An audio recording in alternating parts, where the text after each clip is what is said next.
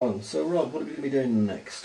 Okay, now the metallics are completely dry, we're uh, going to apply the uh, uni unifying ink wash. It's going to be a mix of black ink and blue ink. Right. So a bruise. Yeah, it's um, the black inks to knock the colours back a bit, and the blue gives it that blued steel, almost greasy kind kind of effect. Right. So, So slightly looked after, but not awesomely well. Lovely. yeah, and we've got all the, the, the, the brown and black in in the, in the grooves as well, so that'll it'll hopefully uh, intensify that. Alright. So we've changed the water as well, so we don't contaminate our paints. Yeah. So we're using fresh water, and all we're going to do is mix fairly equal amounts. I would uh, I'd lean towards the blue on this, I think.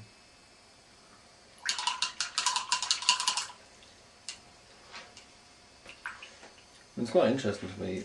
I've said it a few times, but this is actually really inspiring me to look forward to doing some painting with. I know it's going to be Yeah. absolutely horrible, but then you know, I really do have the skill level of probably the lowest common denominator watcher of these videos. So Well, I mean, the, the good thing is you don't, because this is the, the standard stuff, you don't need to understand the mixing and stuff like that because the colours are all labelled and you, you just mix a lighter shade in, you know, a lighter green with a with the with the mid-tone and a darker green for for your shadows and, Yeah. and stuff. It's Well, I mean, watching it, as long as you know which colours you're supposed to be using and can read the lid, to me it's going to be very much about painting my numbers experience. Yeah, really. and that's that's what you want. I mean, if you if you're doing a display piece, you can experiment with mixes and adding um, uh, blues to the shadows. Blues in, around the eyes will will make the eyes uh, seem uh, more deeply sunken. Um, instead of using the greens, you can use dark browns to give it a more natural, naturalistic look. Um, there's pl- plenty you can do. It's uh, you know people who can uh, colour mix the 2D stuff um, should take to it very well, but myself I can't do uh, 2D to save my life, so No, no, it's probably just something that comes with practice. Really. this is a very rich dark blue. It's actually a bit too blue, but what the hell. There's no such thing as too blue. Blue is one of the most fantastic colours ever. No, that is that is too blue. Okay, so I'm going to remove most of it. And instead of adding black, I'm going to add a bit of brown. So we get our brown ink and add a dab of that.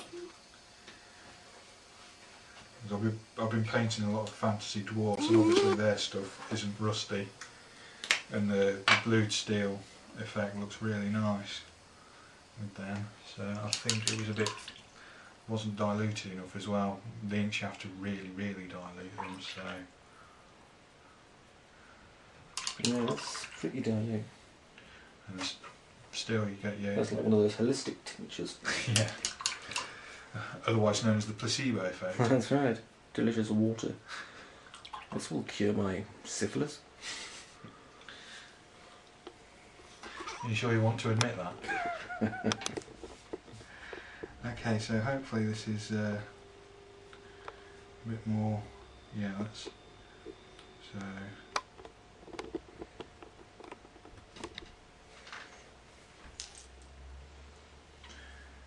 just do the ink wash. I'm going to try and not let it, to let it pull, but I am going a bit quick, so it probably will.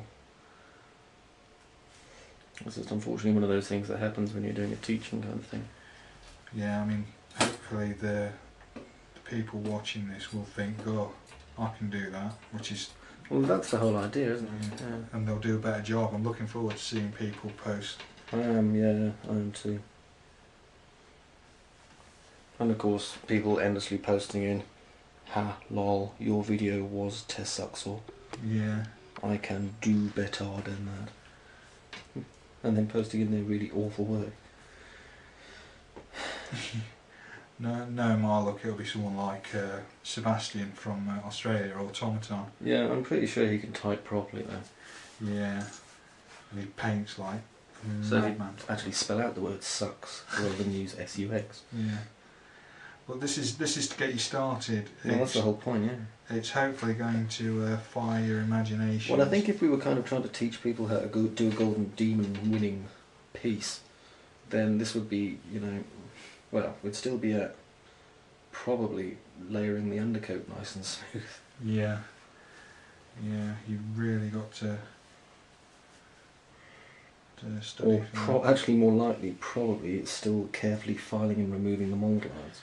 Yeah, as this was pre-assembled, there were some mould lines. Well, this is kind of a situation people are going to find themselves in quite frequently, of Yeah. course, because this was assembled by my very keen 12 year old son. Very well assembled. Yeah, it was actually. I was very, very pleased with young Thor. So he did uh, manage to make it a bit awkward for me though. You call that a challenge. No, it's awkward. Oh, fine. You and you artist folk. And it's just because.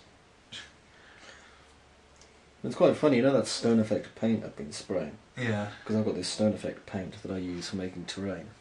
And uh, I was spraying and I didn't realise my video camera's um, tripod. The tripod I'm using was behind it, so I've got a stone effect tripod. Swanky. Yeah, it's very, very swanky. I think it's added at least £1.25 to the retail value. It's like, uh, I, I, well, I don't know about that. I think it might have the same effect as stone cladding. Good old stone clad. That's what that's what fifty year old people install to feel posh. yeah. That and a pond. I actually have a stone clad bathroom. Yeah, we call that bare walls. Oh, right. Okay, so metal wise, I think that'll do. It's dulled it down nicely. You've got your bits of brown still showing through, which which you can tell. You know that's that's just a quick rust effect. It's a bit more prominent on the gun and on the back. So we'll just leave that to dry and move on to finishing off the face. We'll do the teeth and the eyes. Fantastic. I'll look forward to watching that.